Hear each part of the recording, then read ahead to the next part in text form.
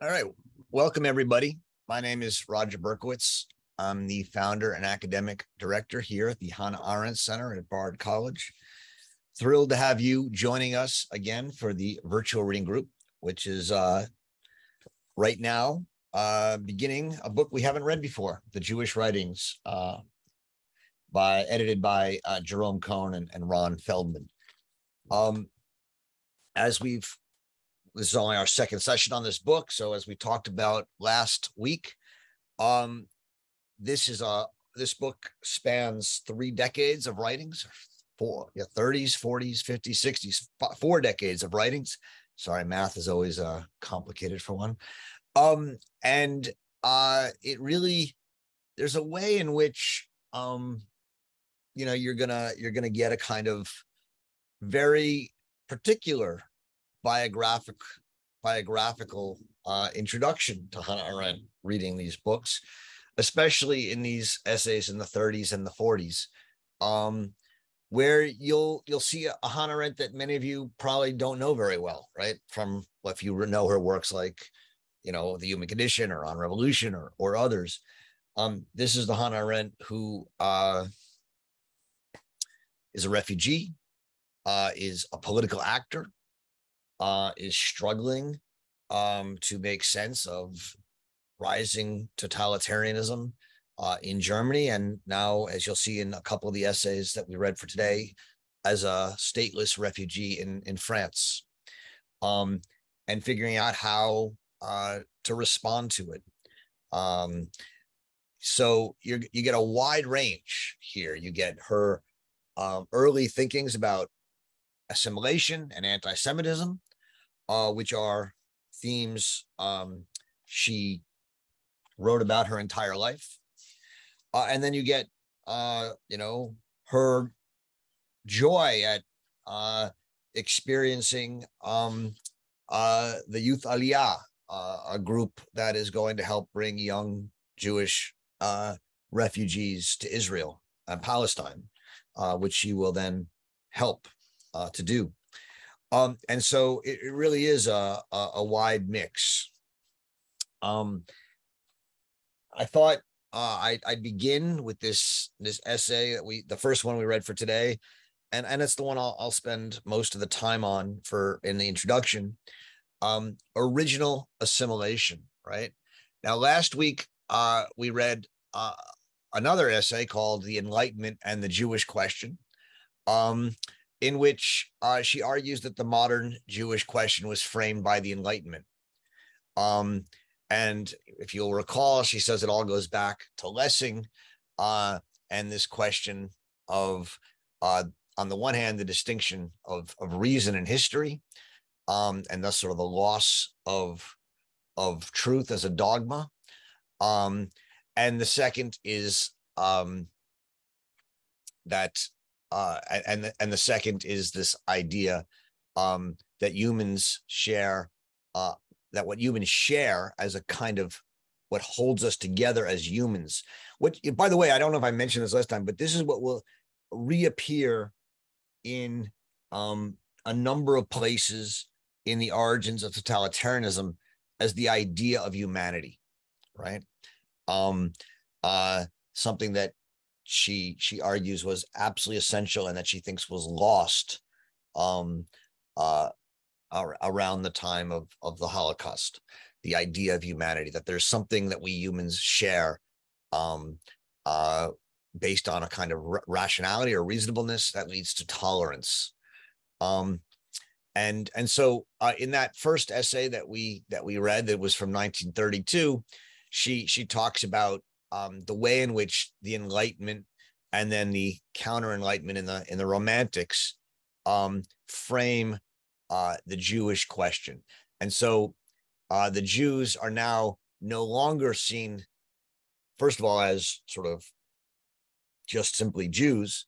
Then in the Enlightenment, they're seen as um, uh, you know as as people who can assimilate into the Enlightenment, into educated people. And then in the Romantic era, they're returned back to Jews um, as a chosen people, as from people from Palestine, as Asiatics or foreigners. But now, in the return in the romantic era they they don't return to being a, a situated founded people who are um who return to a kind of um settled situated religious ethical life as jews um they actually are now returned to their jewishness without actually being jewish they've become enlightened and now they're seen again as Jews, but they're not, they don't actually have the religious aspect. They have something general like religiosity. Um, and and so they have lost their historical ties, and yet they're still seen as Jews. And that return um, is uh, what you'll call modern anti-Semitism uh, in many ways, uh, both in that essay and in this new essay uh, on original this new essay, which is also from 1932 on original assimilation. So they're written the same year. You can you can see that they cover a lot of the same problems. Um, both Mendelssohn and Herder are are are are main characters in both of them. Um, and uh, and you'll obviously see some of the um, concerns that she's grappling with. Okay, so this new essay, Original Assimilation and Epilogue to the 100th anniversary of Rahel Varnhagen's death. Um, just some of you have read uh, Arendt's book on Rahel Varnhagen uh, in this virtual reading group with us.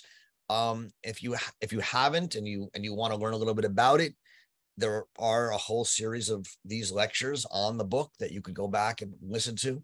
You could also read the book, which is even better. Um, but this was a book that um, Arendt got involved in uh, this project on on Ravel, Rahel Varnhagen a few years before this, um, and it was going to be her Habilitation, which in German in Germany is um, uh, what one writes as a as a as doing a in, in lieu what we call a PhD dissertation, and um, it's your first big book, um, and um, she was working on Rahel Varnhagen, who was a a Jewish, uh, born a Jewish um, woman in Berlin, and um, as Arendt tells it, had nothing to recommend her. Right? She wasn't beautiful. She wasn't intelligent. She wasn't. I mean, she wasn't intelligent. She wasn't cultured. She wasn't educated. It's a difference.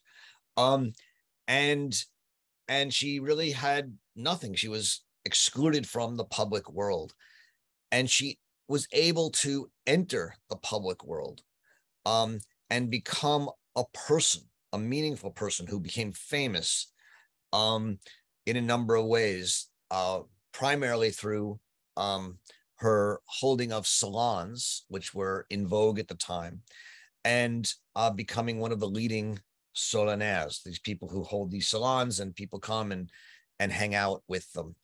And um and and and in doing that, she became a public person. And then when the Jews were then once again excluded from the salons and you were not allowed to, or no one would come to a Jewish salon, she lost her public person. And then she had to find another way to be a public person. Um, and that's when she married um, Count uh, Hagen, um, who gave her another way of being a human being um, or a, a, a, a public person. Um, and then edited her lifelong correspondence, which has made her famous. And Arendt's book on Varnhagen is, is I think, still the, the sort of main book.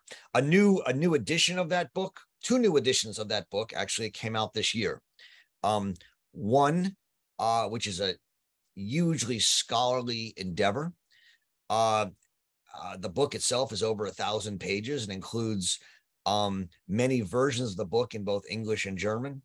Um, uh, was published as part of the um, uh, Gesamtausgabe, the collected works of Hannah Arendt. And the other is a new short little volume um, published uh, in the New York Review of Books series. Um, uh, you know, sort of in a sort of the simplest way. So if one is the height of popular publishing, the other is the height of scholarly publishing. Um, there seems to be a lot of interest in in Rahel Varnhagen, um, and I think for good reasons. It's a great book and um, and so we'll talk a little bit about her in a second. In any case, um, uh, in this essay on original assimilation, there's a few in a sense, almost thesis like points that Arendt makes at the beginning. And um, we need to understand those, those thesis like points. The first one is that she says assimilation must um, declare its bankruptcy, right? It's the first sentence. Today in Germany, it seems Jewish assimilation must declare its bankruptcy. Um, I think that's fairly clear, but it's also, I think we have to be aware of how strong that claim is. Um, assimilation is bankrupt. This is one of the um, this is one of the ideas that runs through Arendt's writing, both on Jews, but also on race in general, um, throughout her life. Um, and I think, and I will tell you that I think it's one of the more um, profound and also difficult to understand aspects of her writing. I mean, I think many people who read Arendt as casual readers or even as scholars of Arendt think of her as an assimilated Jew, right? Um, and I don't think that's totally wrong. Uh, she she wasn't religious. She she lived in the in the in the public world, both in Germany, then in France, then in the United States. Um, and and and there's a way in which one can argue she's an assimilated Jew, and yet, and this is important, Arendt always, in almost every time she writes about it, argues against assimilation, argues that assimilation is a fool's bargain, that it doesn't work, that here she calls it bankrupt. And um, and so part of what we have to grapple with in thinking about Arendt and these questions of Judaism and assimilation and racism is is her belief in an important way that uh, assimilation is, a, is is not something that works. Um and and and and take that seriously. Okay. Um if assimilation is bankrupt um at the same time she says that uh, assimilation means um, the entry of Jews into the historical human world. Okay, that's that's a definition. Assimilation, Jewish assimilation, is a fact that the Jews entered the historical human world. Um, that means that instead of living in a shtetl, and then even instead of living in a ghetto in Frankfurt or Berlin or wherever, or Paris, they sought to leave the Jewish world and enter into an historical European world. They sought to be part of a world that was not a Jewish world, but a European world. And to do that, to enter the historical European world, um, they had to, she says, assimilate to the enlightenments, to the enlightenment. So this goes back to the first essay that we read last week um, on the Jewish question. You can only become a Jew assimilated into the world by becoming uh, an enlightened person. Um, that means you claim to be emancipated from your particularity as a Jew to be a, a general uh, European and in that emancipation you claim equal rights and and human rights. Um and thus uh as an assimilated jew you claim to be uh like everybody else and not therefore a jew. Um this fact of assimilation into the enlightenment um she says on the one hand is a fact. It's what happened. On the other hand it later became an ideology, an ideology that can no longer be maintained. And so then she'll say in a number of places in this essay, um, the reality of assimilation has been refuted. So, on the one hand, it was a fact. This is what happened. On the other hand, it's an ideology that can no longer be maintained and it's been refuted. Um, and so, while it was a fact, it's no longer a fact or it's a fact that has been um, uh, that has failed to solidify itself in the world um, and and so uh, assimilation has failed um, she also says that anti Semitism, particularly this modern form of anti Semitism, or um, is directed against assimilated Jews as bearers of the Enlightenment. Um, and here she brings up again Moses of Mendelssohn, who still wanted to emancipate the Jews as Jews, right?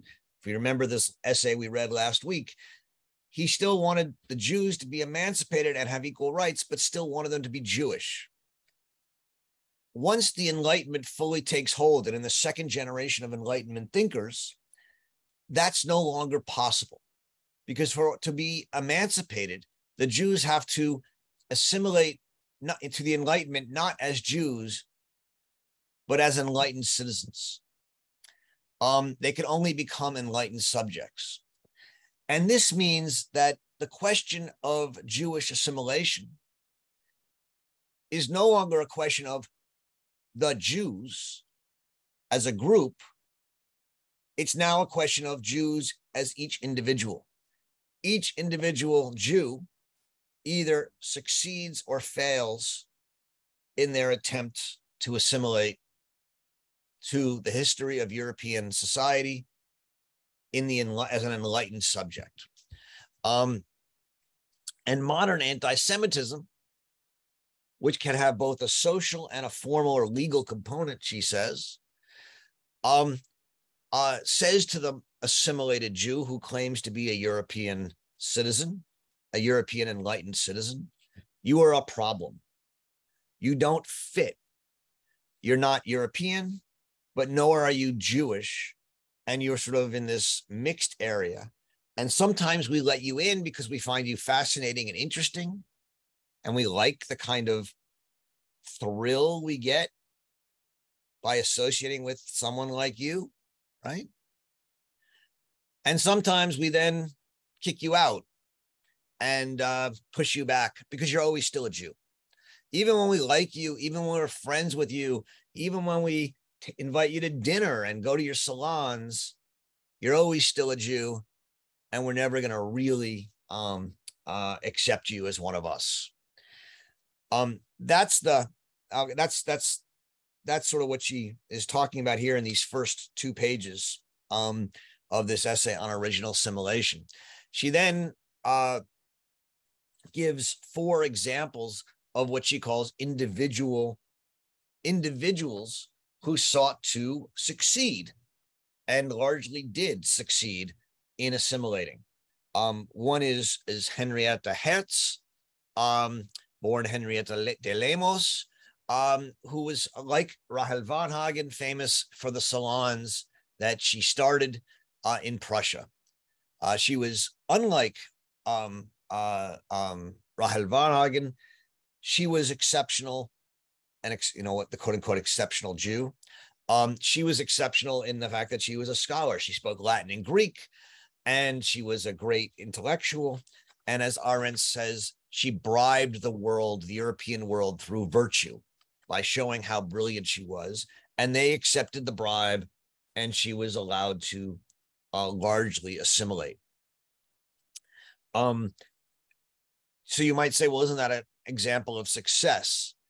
Um, you'll see when we talk about Rahel Varnhagen why Arendt thinks it doesn't, but just the, the there's a cost to Henrietta Herz's success in assimilating, which is, as Arendt says, um, she developed a reputation for coldness because she remained untouched. Nothing got through to her. She had to deny who she was. She had to deny that she was a Jew and she always was a Jew. Now, we we don't Arendt doesn't do a lot on Henrietta Herz. She hasn't done a lot of research, so we don't go into it. But when we get to Rahel Varnhagen, whom Arendt spent years living with in her letters and, and diaries, you'll see that even though Rahel Varnhagen succeeded in assimilating on one level, she was always uneasy with it and always nervous has she left traces behind of her Judaism? Is she still a Jew? Are people going to know that she's a Jew? And so that's part of the failure that she's going to talk about. Dorothea Schlegel, um, who uh, was Mendelssohn's daughter and married Friedrich Schlegel, the great writer, um, you know, Arendt has very little to say about her except to say she assimilated in a different way, um, which is by becoming the wife of Schlegel, and in becoming him, became his husband, and didn't really enter the world so much as entered the world as sort of his, um, uh, you know, partner. The third uh, group is Marianne and Sarah Meyers. I don't know much about them. They came from a rich family, uh, had an aristocratic education, and they both married well, namely um, non Jewish aristocrats, and thus were able to reside in the great world. Um, the point is that for all of these individual Jews, they are cases of women who understood how to erase the traces um, left behind of being Jews. They understood how to escape from being Jews or escape from Judaism, as, as Rahel put it. Now, Rahel, who's the person that uh, is that is most famous for this and for whom Arendt writes the most about, um, on the one hand, seemed like she succeeded, right? She she had a salon, and then when the salon broke apart, she married well and uh, has remained a public figure. But as Arendt says at the top of 25, what is sure is that she was never able to erase the traces, to deny practically her origins, although it was she who made the angriest and bitterest remarks about her Jewishness. And here's part of the problem with assimilation it's a kind of self hatred. It's a kind of, in order to be an assimilated Jew, you have to hate yourself. I mean, this is, I mean, you have to understand this is Arendt writing this in 1932, right? At a time in which she's about to, one year later, be arrested and flee Germany. This is a time in which someone who grew up thinking, you know, she Jewishness was not a huge part of her life is suddenly confronted with the rise of the Nazi party. And this question of does she want to be a Jew or not? And her answer, as many of you know, is if you're attacked as a Jew, you have to defend yourself as a Jew. And that's part of her insistence that we not fully assimilate. But it's also that assimilation is a Faustian bargain. To assimilate means to reject part of who you are, and um, and just to hate to, to engage in a kind of self hatred. Um, Rahel, uh, unlike Henrietta Herz, was not beautiful. This is Arendt saying this, and and it's what um, Rahel says about herself, so it's not me saying it uh, was not beautiful, was not educated, had no cultural world, really had nothing to distinguish her.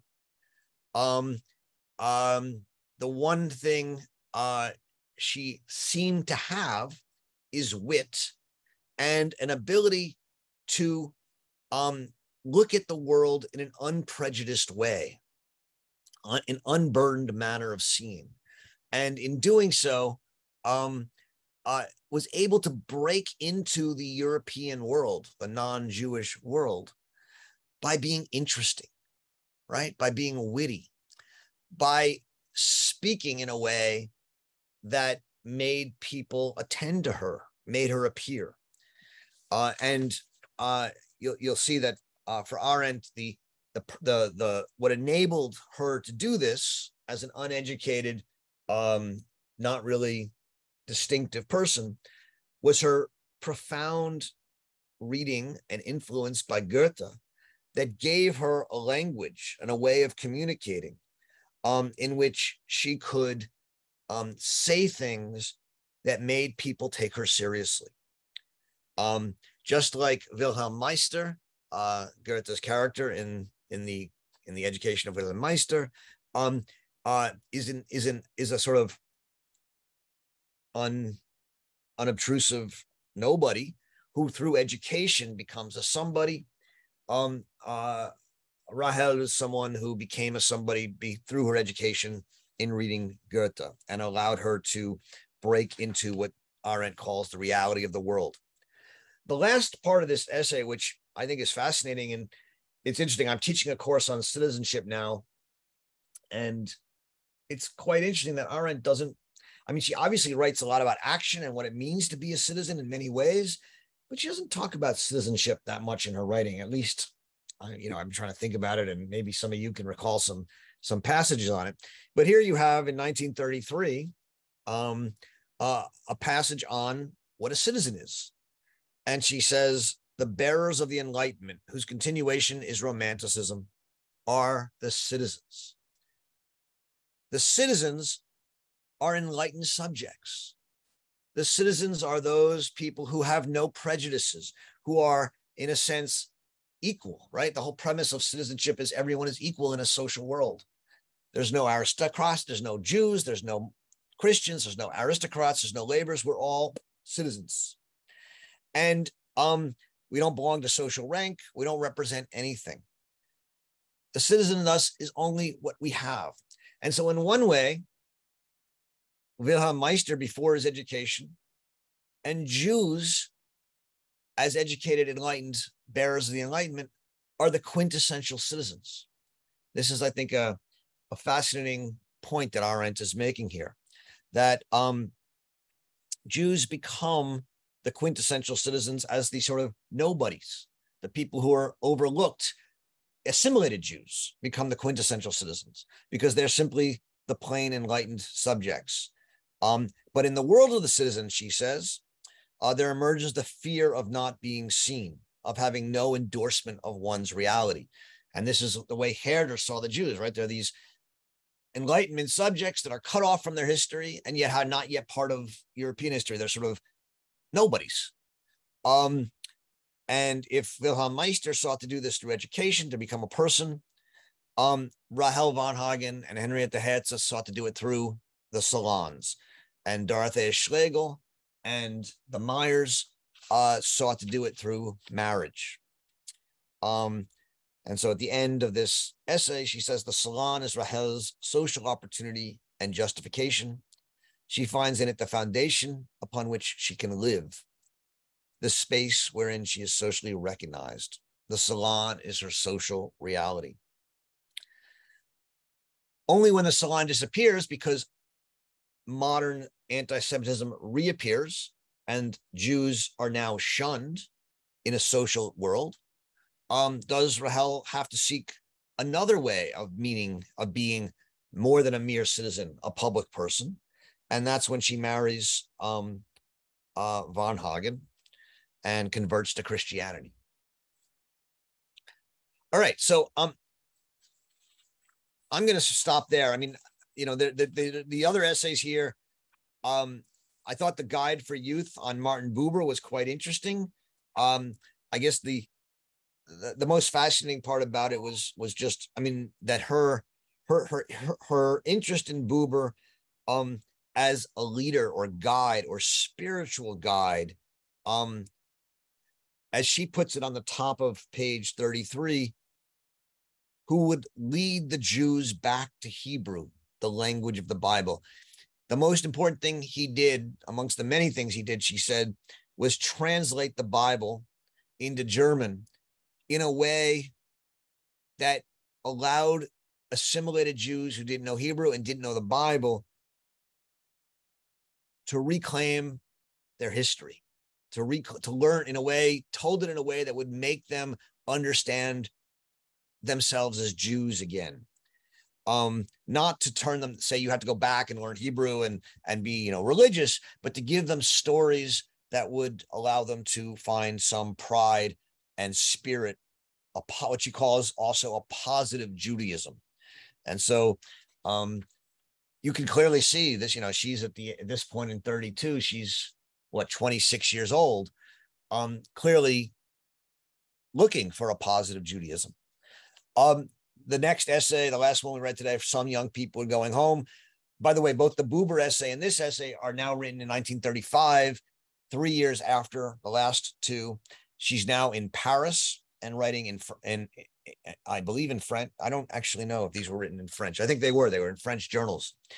Um, and uh, and and and here she's talking about the youth and the uh, the Youth Aliyah, which is an organization she worked for, where she took uh, Palestinian youth to Palestine um, uh, in order to to save them uh, but also, as she says here, um, to discover again the joy, dignity of youth that will help rebuild the country. Right? And that's Israel, uh, the home of Israel.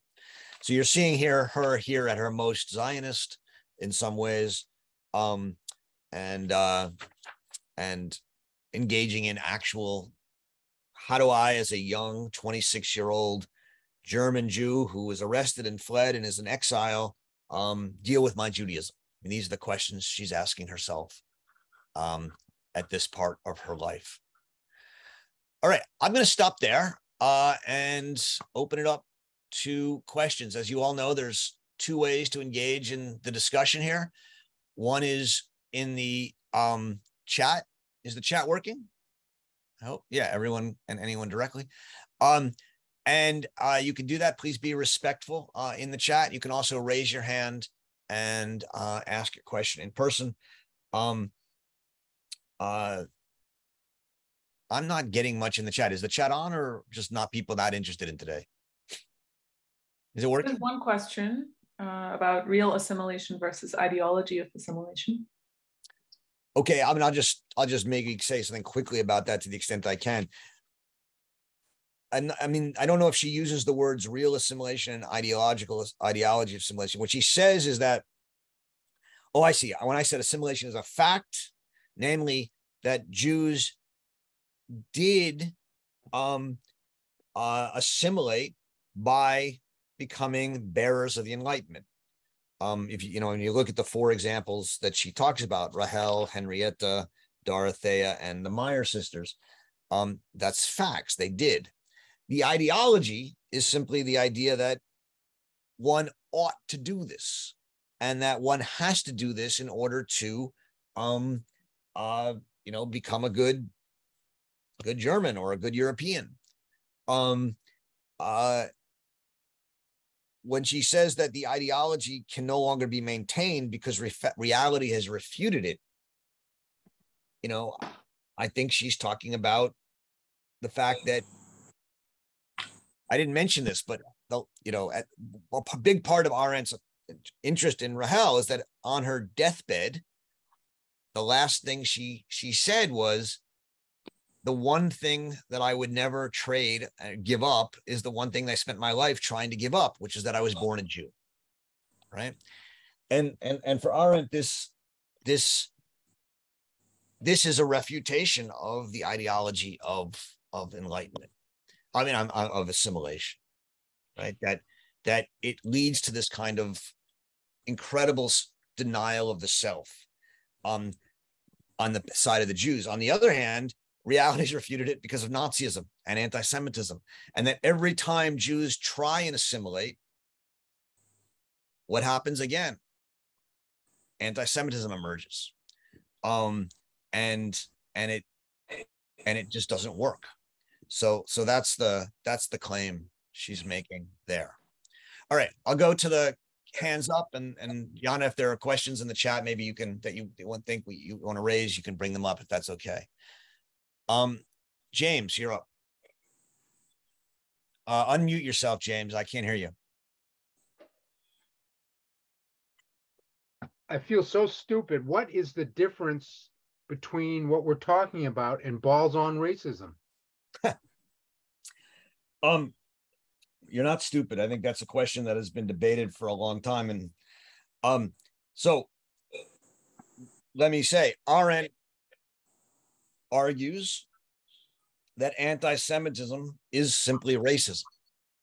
Okay. Uh, and um, uh, if you read her work on anti-Semitism, and as we will in this book, you'll see that she argues that anti-Semitism is an ideological uh, belief in the superiority of one group and their right to rule, kill, or enslave another group.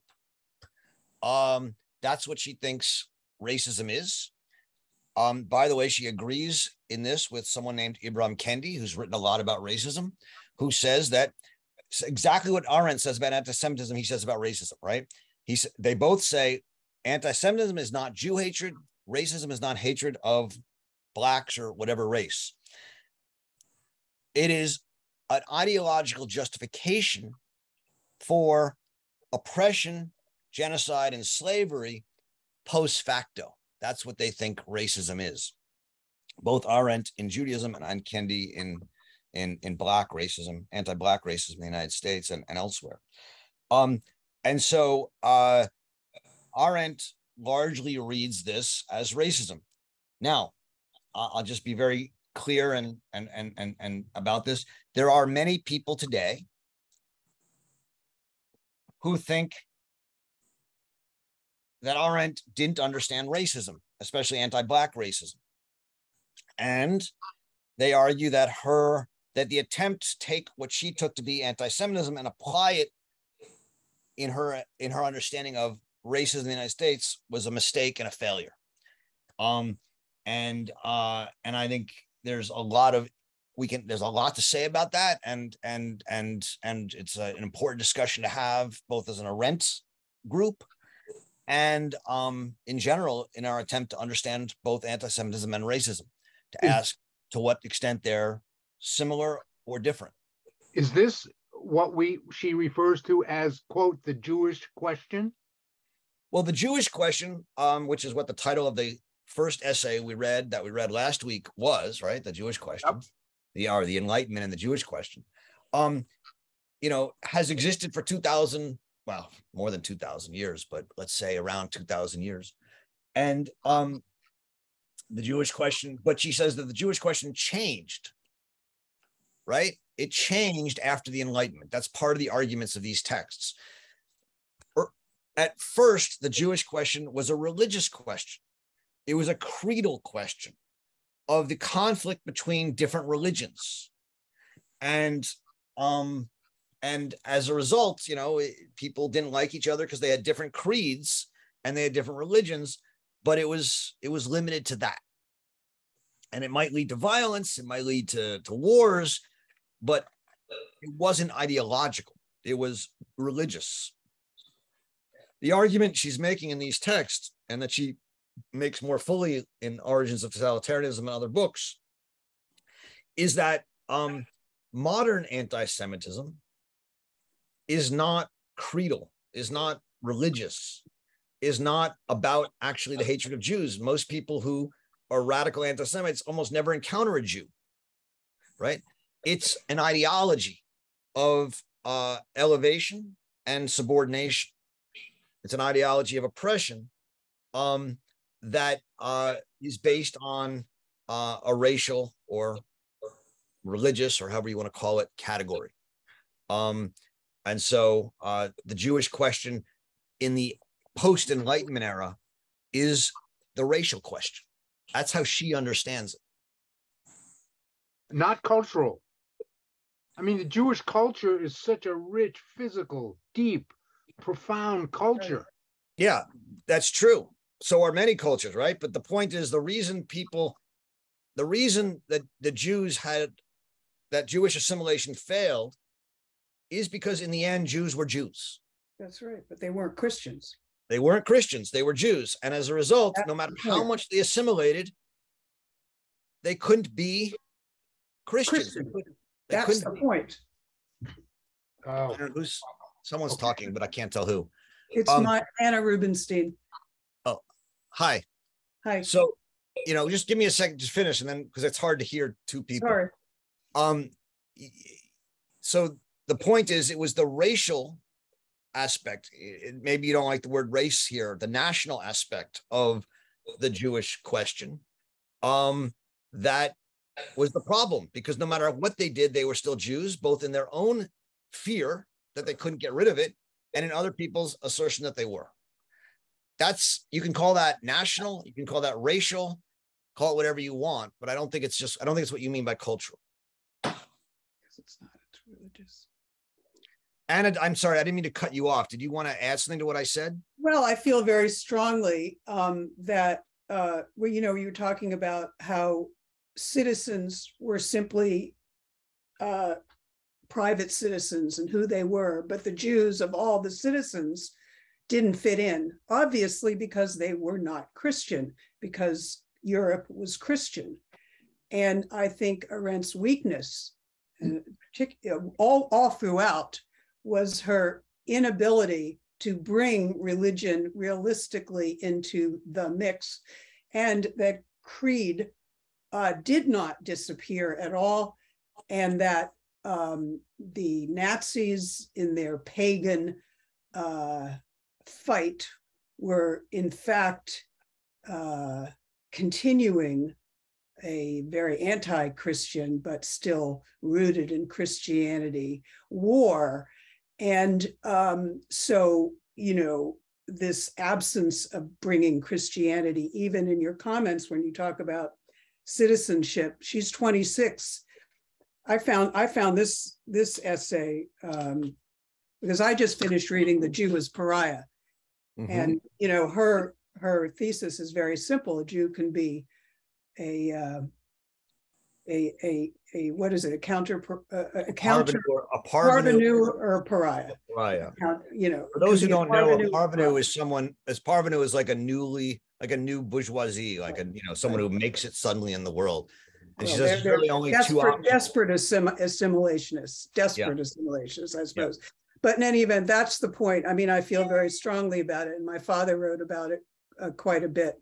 Um, he, he- in his work, uh, Richard Rubenstein. Um, and um, so I- I've been really reading all of uh, Arendt, and that, that is just something that struck me right now.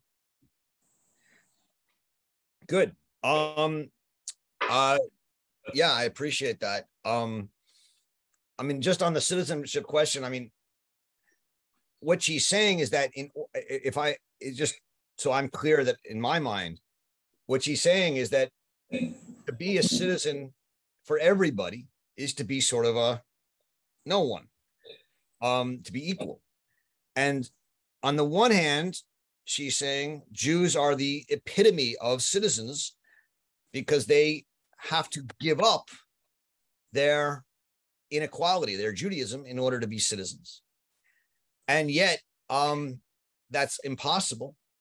And thus they become subject of anti-Semitism because they still are Jews. Um, that's what I take to be her argument ab- about that.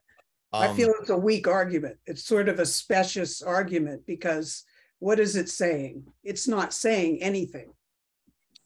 well, I mean, I don't know. Uh, I mean, I love Arendt, but that's not saying No. anything. Well, it, I mean, I think it's saying something about the problem of assimilation, but that's, I mean, that's what we're trying, that's what she's trying to say something about here. Bringing why they are the least, uh, why they are, uh, if everybody is, uh, if everybody loses their individuality and they're simply private citizens, then why aren't Jews just the same? I mean, it's, it's too obvious. Okay. Um.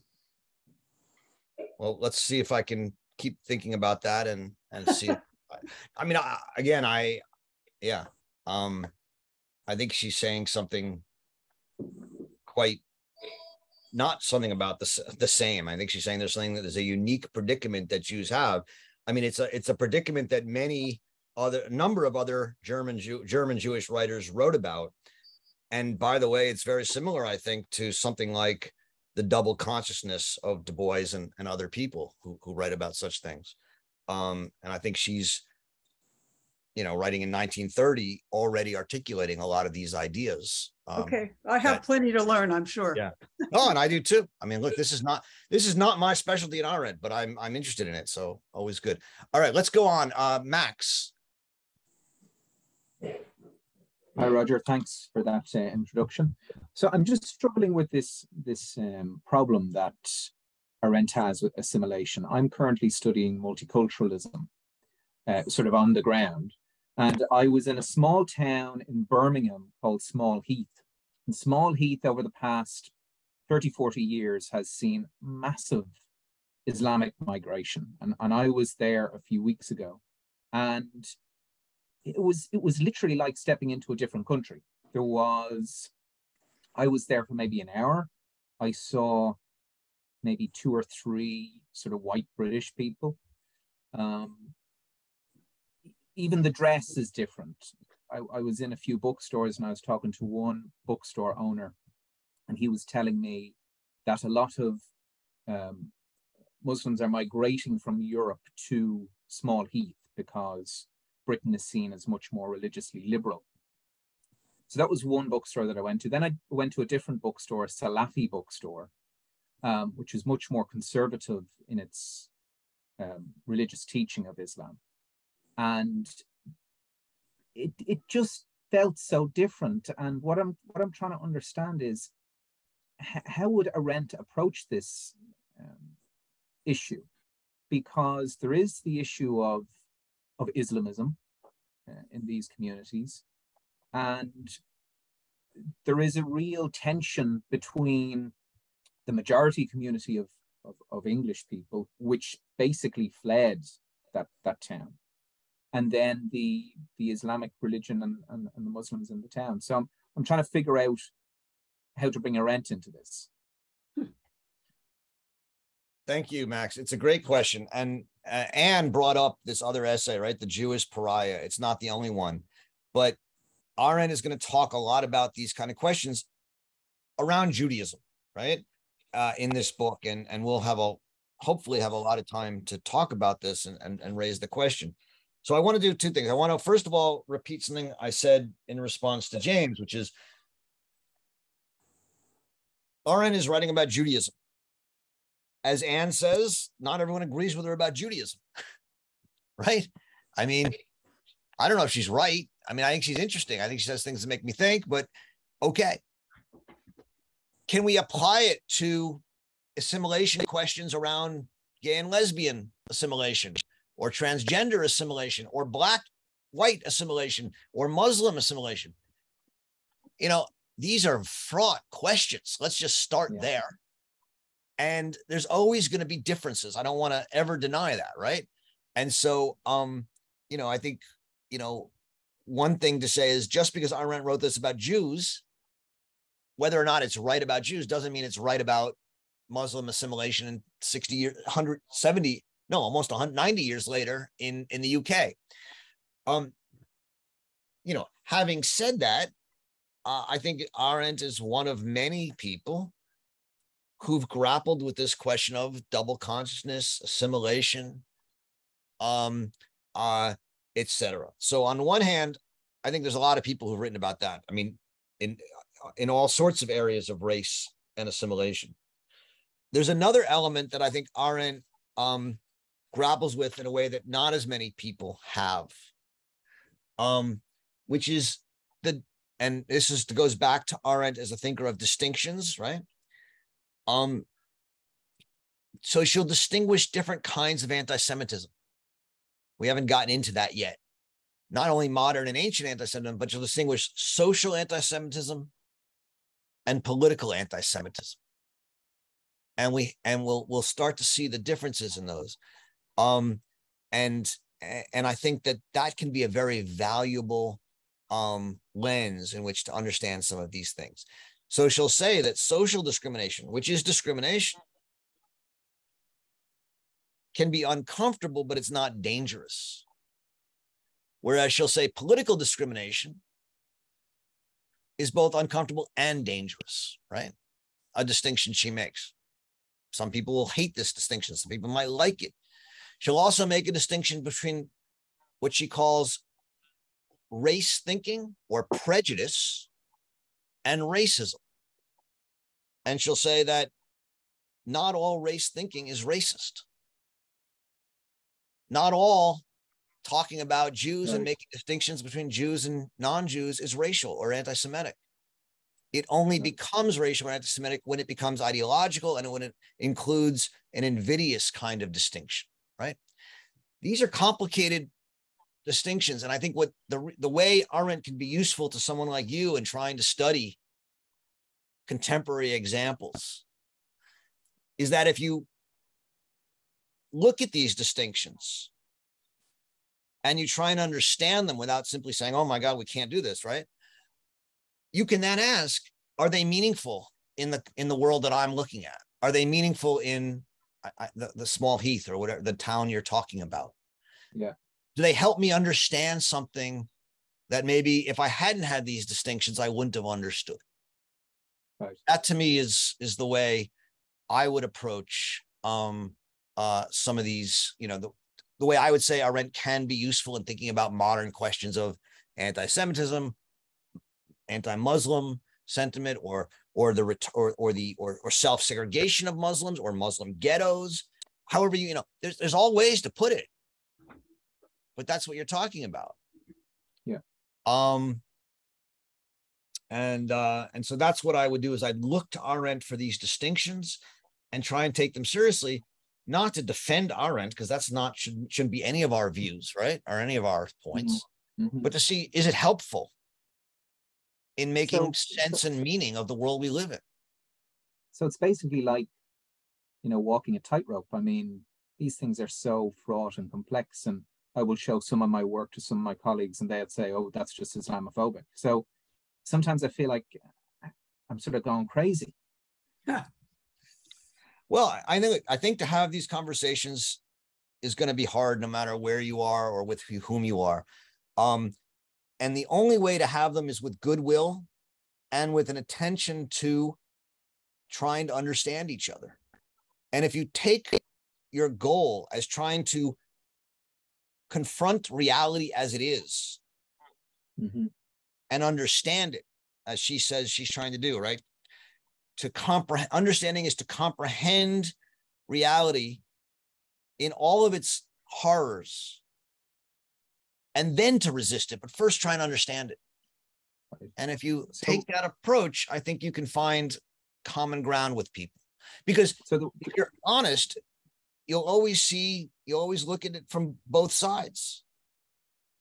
So Go the ahead. issue that I'm, I'm the, the issue that I'm really struggling with is the is the terrorism example and and dealing with like security services. So you'll have MI5 will infiltrate certain Salafi groups um, to try and stop terrorism. And in order to do that, you have to implement something, the Prevent program, which is what the UK is doing at the moment. Um, and this is political legislation being put forward to monitor certain groups legally with uh, sort of experts and everything behind it. Yeah. Um, and then some people will say this whole legal apparatus shouldn't be there. It's racist. It's Yeah. it's bigot. It's it's discriminatory. Um, but it it's it, it's needed. I mean, if you don't do these sort of political works and have these security apparatus, how you know how do you know who's going to how do you know how to foil a, a terror attack? So, So how would she deal with these these these sort of extremist elements? Or what were you going to say? Sorry. So, so- so first of all, I can't answer all these questions. You know, I don't, I don't know if I know all the answers to all these questions. Like, I, I'm not Hannah Arendt. I don't know how she would address all these questions. Um, Yes. uh, you know, I think, like I said, Hannah Arendt is meaningful to me because she helps me ask questions, not always answer them. Um, so on a question of security, right? One question Hannah Arendt would make me ask is, what's more valuable, security or freedom? Right. What's more valuable, security or equality? Now, that's not an answer, that's a question. And I'm not telling you what the answer is. It, but I am saying she would make you ask that question and make say, well, people say, oh, we need this for security. Well, what is security? And how much security? And can we live a free life with the promise of complete security? Probably not. That I think I'll say. And and so these are the kind of questions that I think are helpful in in, in reading her work and pushing back on on these things. And yet she'll also say, right, that in order to live a meaningful life, you need some consistency and some security and some hope that tomorrow will continue to exist. Otherwise, you can't keep living. You have to have some continuity and that you have to have some hope that the world will endure. And so security is not meaningless. That doesn't maybe answer your question for you, but I'm not gonna, I can't. No, I I- know. I, put- you I can just you say put that me in the right direction anyway. You put me in the right direction. All right. I hope that's helpful. Um, Thank you. Thank you very this will, much. so. this will keep coming up. I mean, especially when we write, we, we talk a little bit, we read some of the essays on Palestine, right? And and and terror, you know, it's these the questions are going to come up in this book. So we'll come back to them. Okay. Uh Susan. I have two questions. One is, um, well, maybe it's a comment on her statement on page twenty-five. that Rahel had no tradition had passed anything on to her, no history foresaw her existence, and that she was born into no cultural world. And I, I think sort of uh, similar to Hannah's statement earlier, I, I just find that um, hard to swallow, I guess. Exactly. Um, because um, having come uh, from um, tradition of German Jewish immigrants in the US, um, they did all kinds of assimilation, but they never denied their Jewishness or gave that up. And we even see the example of the Marranos in Spain who uh, had to hide their Jewishness. So I really question um, that claim um, that. So just, quick, just, quickly, you know, we read, I, I, think you were with us when we read the Varnhagen book. I, I mean, was. it's not here. This is a short essay, but this is what Rahel Varnhagen says about herself, right? This is her claim about herself, right? She, and you said they didn't deny their Judaism. Some, of course, some people didn't. Rahel did. For much of her life, she said, "My Judaism is the worst thing that I have to ex- I have to expunge it." So Arendt is talking about a very particular example, which she sees as exemplary. And you may say, oh, it's not exemplary, but she's trying to say, look, in these, in looking at someone like Rahel, we can learn something that's not true for everybody, but we can see, um, we can see desires that are often that are here radicalized and extremized that are maybe in other people, and that's what she's trying to do with Rahel. I would say that it, if it took so much work for Rahel to do that, it meant that there was a lot there that she had to get rid of. So yeah, uh, well, I, I guess you know what. Also, that's also a good point, and that's part of Arendt's point, right? Which is that that's why assimilation, she says, is impossible. Yeah. yeah. yeah. The other question, I think I heard you say that Rahel's um, experience in the salons gave her a public uh, life. And I just wondered about that as compared to a social, as Arendt would see it, um, experience. How is that public and not social um, in Arendt's categories? It would be social, but in this case, um, you're you're right. In in sort of the public, social, private, it would be social. Uh, but the social at this point is at least not the private, and it thus gives her a, a, a an existence in a world outside of herself and her family. That's the that's the claim. So it's um it's not public in the sense of political uh, action, but it is public in the sense that she um, has a stage or a persona uh, in in a world that is taken seriously by others and specifically those others she wants to be seen by, namely the aristocracy and the cultured elite.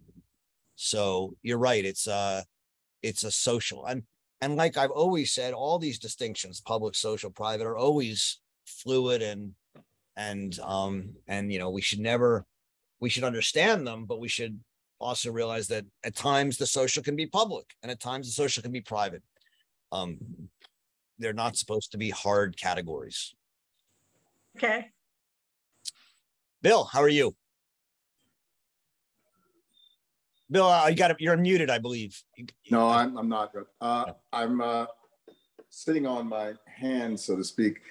Um, when I heard when you proposed that we were going to be reading the Jewish writings, uh, I thought my first response was, "This is not for me." I thought that it would make me a voyeur. Um, and that you folks need to like talk among yourselves. You see, I make this assumption that most people on the call are Jewish, which is totally wrong, I know. But now I'm, I'm so glad that I did it. Um, I, I'll just, an anecdote. I, am so full of feeling right now that I have to speak in anecdotes. Uh, back in the day, uh, I don't know if people on the call know who I am or they know about my famous collaboration with Arnie Zane um, whose mother was Edith Zachlin, uh, who came from a rabbi's family. She married a Brazilian man uh, who converted to Judaism. Arnie, uh, at the end of his life, he died um, complications from AIDS in 1988 in this very room I'm sitting in. Um, he wrote, uh, he wore a uh, Star of David and a Christian cross, trying to get to someplace. I say this only because I'm not sure, sure why the Museum of Natural History did this, but uh, anybody on the phone, dance aficionados, do you know who Pearl Lang was? Pearl Lang was a celebrated dancer in Martha Graham's earlier companies. And she did a, a much respected work based on and I never saw another butterfly, which, as you know, was the writing of the kids at Theresienstadt. And so she made this piece. Well, um, they pulled together what was supposed to have been a kind of a symposium on Blacks and Jews. This is around the time, I believe, of Bensonhurst, that, uh, and maybe somebody wants to take us back there, what that was, an ugly confrontation around race and and it was most clear that Jews were not um, was not in the mind of the people writing about it in New York was not a racial category. It was something else. Well, the question was blacks and Jews who have successfully worked together. Arnie was already dead. Um, I do remember that when I left that that day, first of all, I was the only black person in the room, which has been story of my life. Um, uh, and I said to myself, oh, why didn't I ask the question? Are Jews white people? And last week I noticed, um, uh, Roger, it got something in our thinking or your thinking. You, uh, you're talking about this question of assimilation, and you said it is a, I don't know, you didn't say it was a guilty question, but had contemporary uh, educated, let's say people on this call, have you made the the change? I mean, are you now assimilated?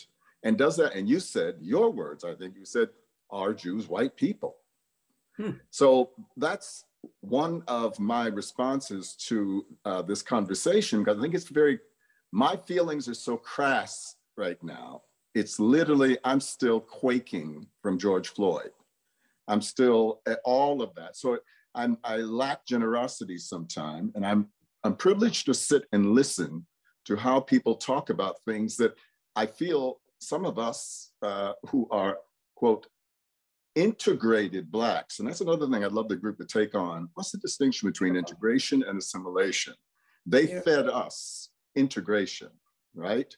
Nobody told me that I could assimilate into American society. So the frustration I think that Anne is expressing something is that let's face it, you know, some people who who gets to decide who is and is not in the group.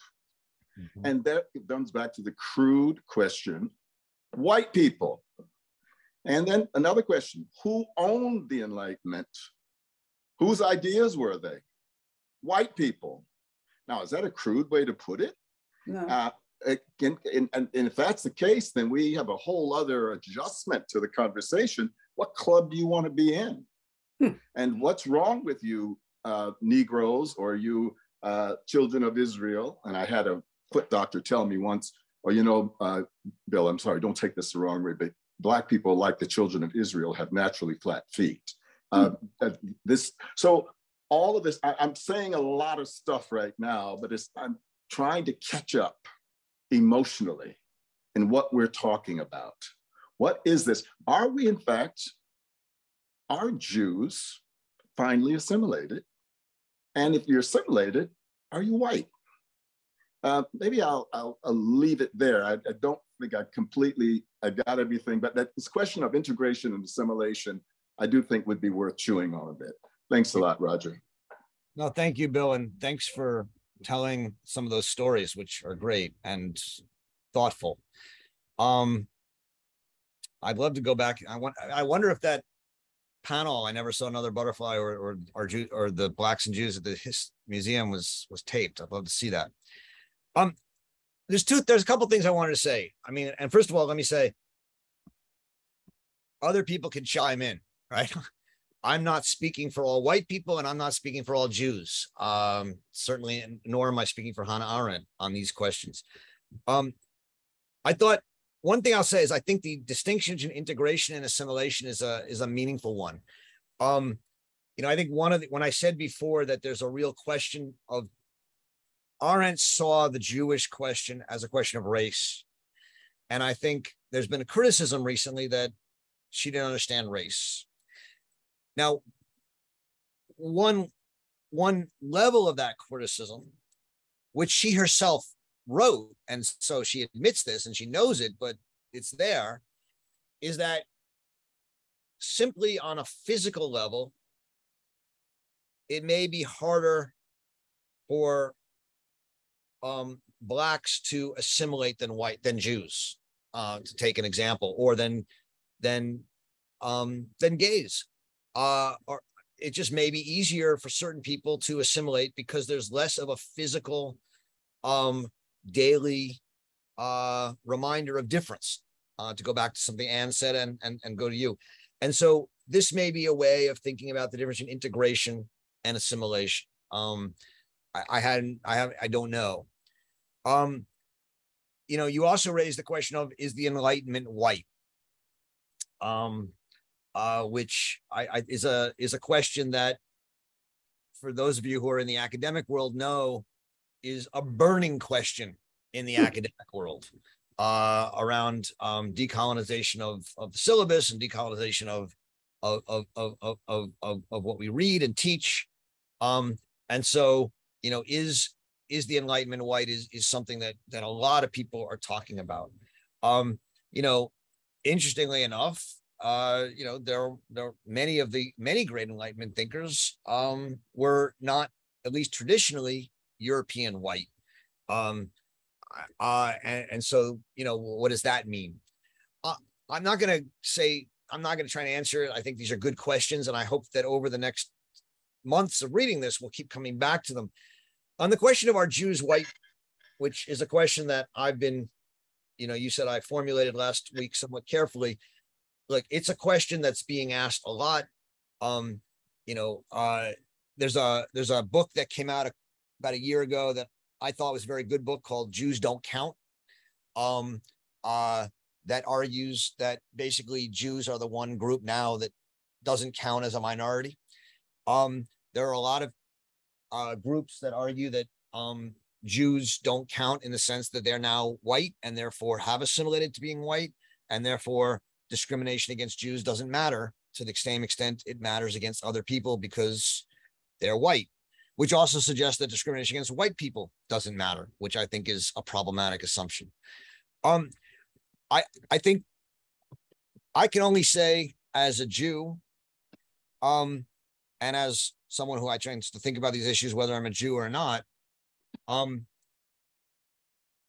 the unfathomable rise of anti-Semitism again in the last seven years, alongside racism,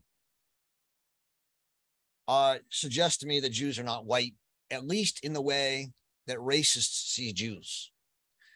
Um, uh, if you look at the websites of many of the white supremacists and neo-Nazi groups in this country, there's more anti-Semitic vitriol on them than there is anti-black vitriol on them. That's not trying to be competitive. I'm just saying the anti, the racist arguments that racists in this country make are still spoken in the language of anti-Semitism. And if you take the the mantra of Arendt's, which I generally think is right and important, which is if you're attacked as a Jew, defend yourself as a Jew.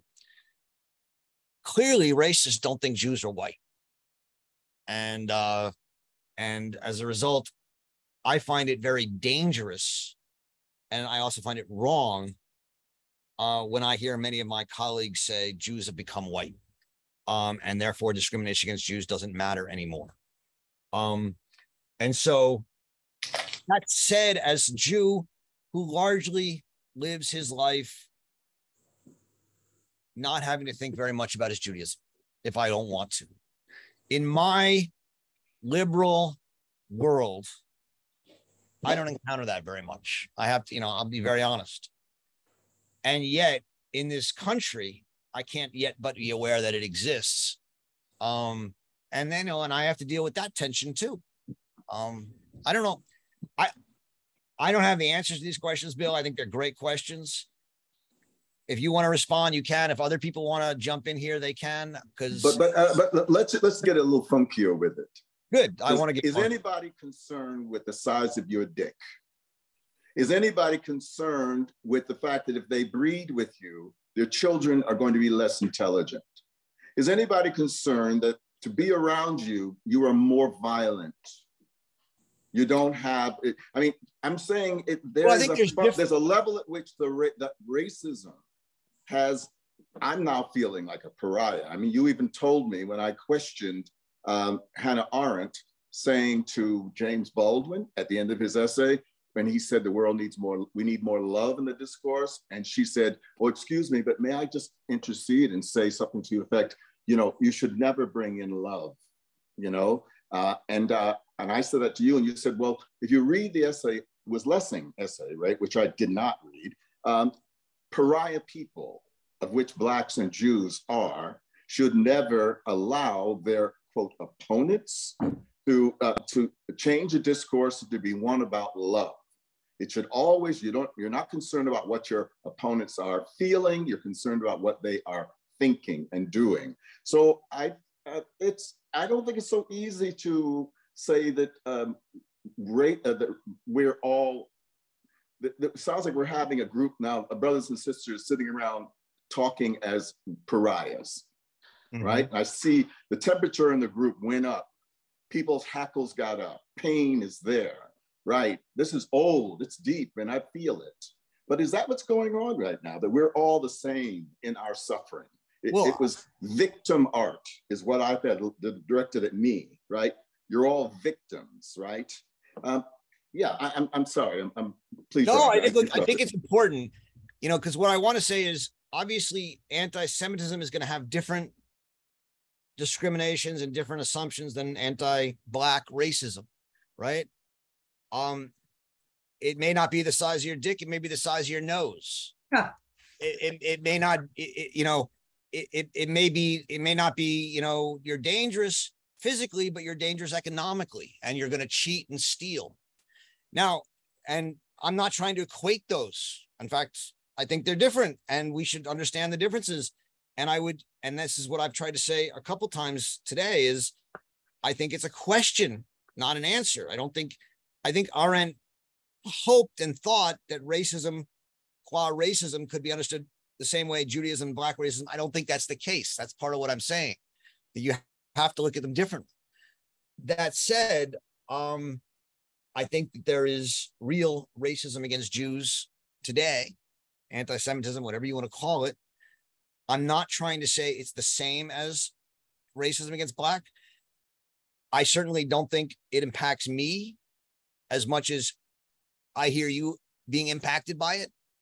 Um, uh, I'm not, you know, I, I'm wary of the hierarchy of who's oppressed more.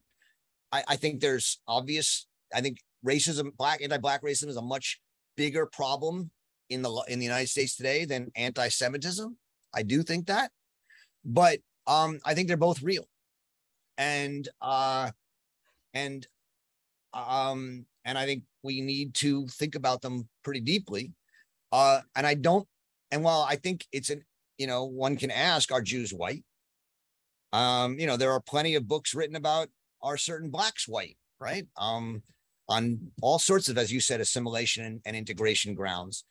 Uh, and I, I think that there's some ways in which those are intellectually interesting arguments, and they can also be pretty offensive. Um, uh, so I just I, am wary about um I, I I I don't know. To me, the Jews are white people argument generally comes from the place of discrimination and oppression of Jews doesn't matter. I don't think that's what you're saying at all. I know that's not what you're saying. It's not. It's not. Yeah. No, I know. I'm just saying, but that's the danger of the sometimes you and I, you know, you've said this to me. I know you're not saying this, but that's the danger of the words you're using. I remember, and you know, I mean, I think the the Jews are Jews are just white people. I think is potentially um, taking away our view from real, meaningful anti-Semitism and oppression in the world that need to be taken seriously, but are different from, and I don't think as much of a problem in our world today as anti-black racism. Hey, Roger, can I chime in a bit? Yeah, I mean, we, I know there's there's about 12 minutes left Jerry is waiting. Jerry, do you want to jump in on this before I let other people jump in on? it? I just want to make sure you have a chance to say something if you want to.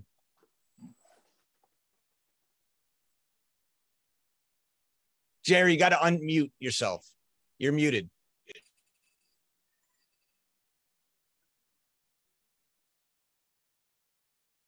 Jerry, are you there? I can't I can't hear you. Looks like he is unmuted, but we can't hear him. His microphone might be off. I, I don't know. All right. Jerry, see if you can get your mic back on. Are you there? No. All right. Um who else who wanted to jump in? I wanted to just say something really quickly. Who's that? Adolfo? Yeah. Yeah, Adolfo, go ahead. So I, I was just saying, in terms of, in terms of Oh, you're breaking up. assimilation and that kind of thing. I think that I mean, can you hear me? You're, yeah, that's good. Try Hello? that. now. Try it now. Okay, perfect. So I think that one concept that I think maybe we should try to bring into this, you know, like some folks may think that this is a bit cold, but like to really think about like the the idea of a spectator and assimilation. So it seems like so we we did all this reading about the spectator and the history and now we're being faced with the Jewish question assimilation and the question I think one of the biggest question is who is the spectator, the true spectator of Jewish assimilation? Who is the true spectator of Black racism? Like, have we arrived at a certain kind of expectation or even thought about those questions to even begin to think about the comparisons? Because it, it, it's it's almost like I mean, you, you think about a guy like Du Bois, but sometimes you think about like is Du Bois is Du Bois a spectator of his own assimilation to which he provides a vocabulary, or is he a, a, a spectator of Black assimilation, which is a ton of, of human beings? And it's the same question with, with Jewish assimilation. So I, I do think that in order to be rigorous, we should also ask ourselves what does it mean to be a spectator of assimilation? I, I think I think that's an excellent question. I mean, and I thought what you said about is Du Bois talking about his own assimilation or the all of black people. It's a it's a fascinating and important question. And clearly the same can be asked of Arendt talking about assimilation for Jews. Um uh, you know, I think that in both cases they're looking at their experience and the experience of people who've written to try and find uh, insights and feelings and expressions that they think have meaning for other people. Um, and how do we, who's viewing it? Is it other Black people? Is it certain kinds of Black people? Is it white people, certain kinds of Jewish people, all Jewish people? Um, and and that's why you know to go back to something I was thinking about when Max was asking about his attempt to understand this town in Birmingham. You know, these things are so ridiculously complicated and nuanced and yet we have this desire right now to have right answers or right opinions. This is this this is that this is anti-semitic this is racist or not. And and important look judgments are important.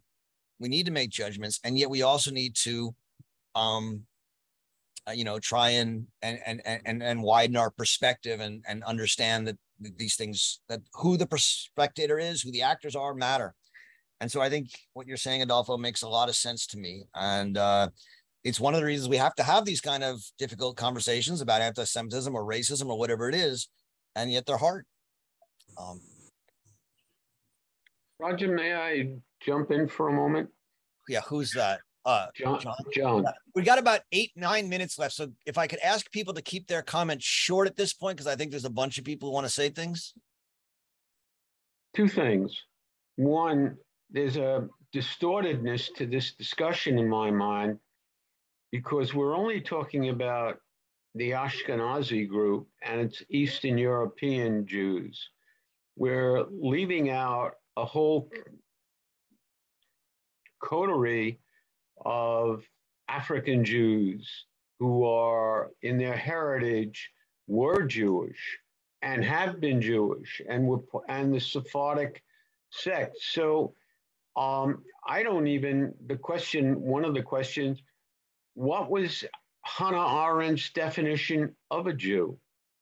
Well, you're, it's a good point, John, because there's also, I mean, I don't know the exact numbers, but increasing numbers of Jews in the United States and in Israel are Jews of color. Thirteen uh, percent. Thirteen percent. There you go. I don't know the numbers.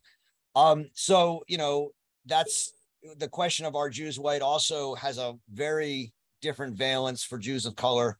Um, although some would say not. Some would, you know, I mean, some would say no. It doesn't matter.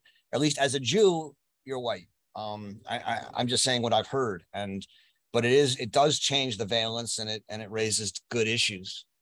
Um, other people who want to jump in here? I just want to make sure we get a bunch of opinions. Bjorn, did you want to say something?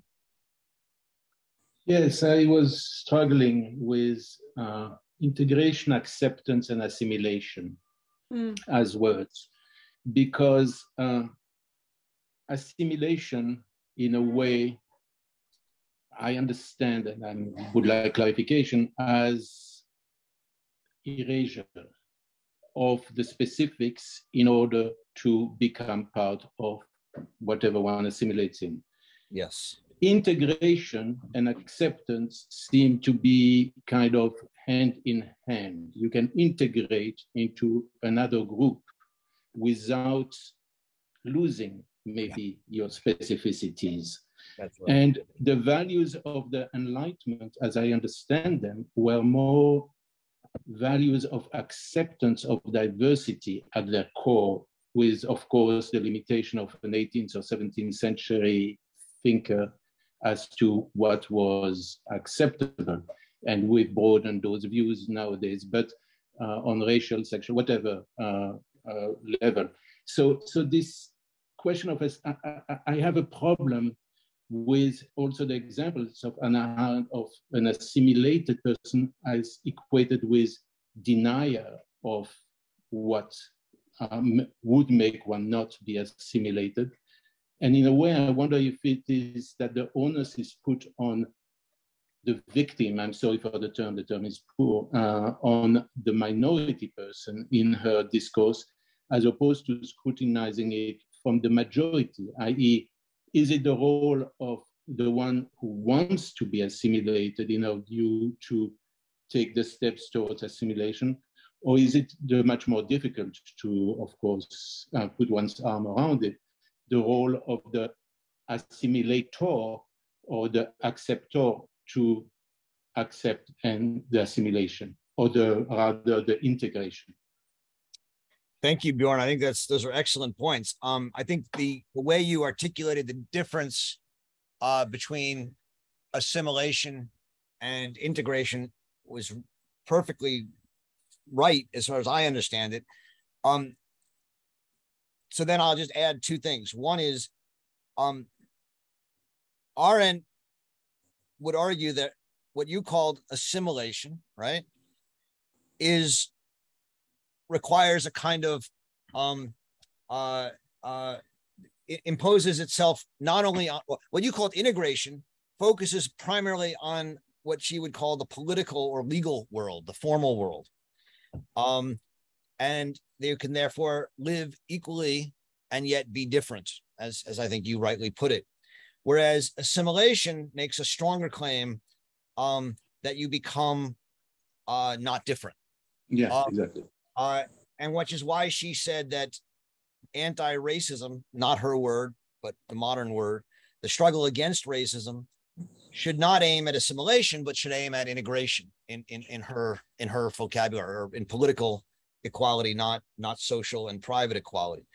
Um, uh, on the question of the Enlightenment, um, you know, she you you presented the Enlightenment as a as a question of integration. I think she in these texts has a different reading of it, which she thinks the Enlightenment is a is a claim of assimilation.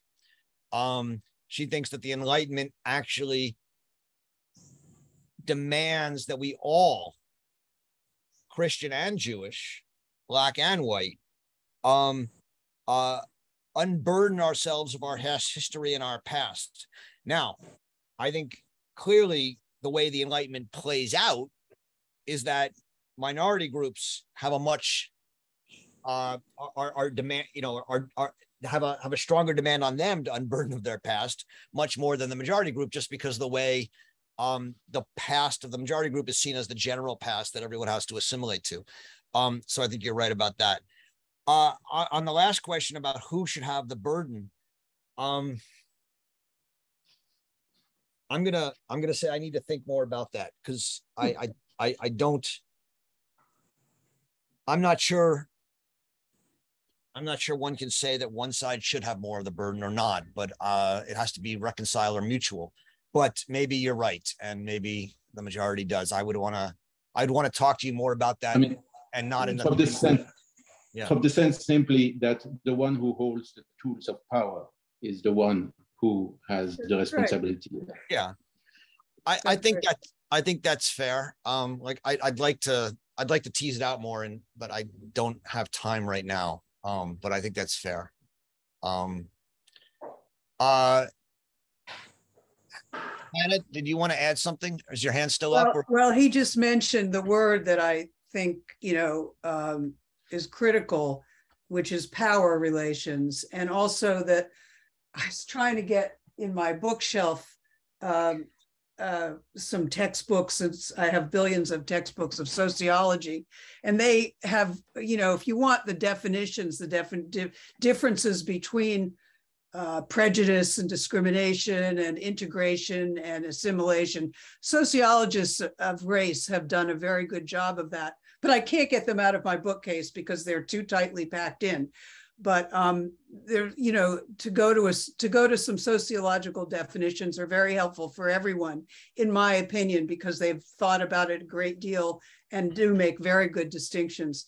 But I do feel that power relations um, it really is a critical thing. And I have not read Hannah Arendt's political philosophy per se. I've just read her Jewish writings mainly, and Eichmann in Jerusalem. Um, but maybe Hannah Arendt in The Human Condition or in what was the other famous uh, philosophy uh, that she a wrote? bunch. on revolution. There's there's there's a bunch between past and future. But I mean, you know, to see what she says on power relations um, on would be violence. Yeah. yeah on Yeah. violence uh, because you know it does seem that that power obviously would be a huge issue Right. Um, I get that and I appreciate it. So look, um, we're at 2:30 and uh I, I I have a feeling that we could go on for a long time, but the good news is this is a long book. I hope that's good news. And there's going to be a lot of opportunity to to talk about the issues. Um, so why don't I say that we're going to end it here and thank you guys for an incredibly hold on hold on provocative and thoughtful and respectful discussion. And um, we're going to return next week with the essay Anti-Semitism, uh, uh, starting on page 46, which is going to dig, dig, dig, bring us deep into this. Um, so uh, I look forward to to reading that with you next week. And um, thank you all. Enjoy reading Hannah Arendt and see you next week.